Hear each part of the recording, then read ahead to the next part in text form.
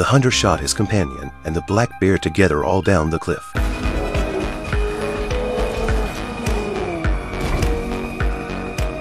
It turned out that he wanted to take the flour and couldn't wait to climb up the cliff to get it. The flour fell from the cliff and shattered on the rocks. The powder just happened to be inhaled by the black bear below. He instantly woke up. The hunter was still pulling the bag and did not notice that the bear had climbed up. Just as he was about to remove the bag, the bear pushed and strangled him.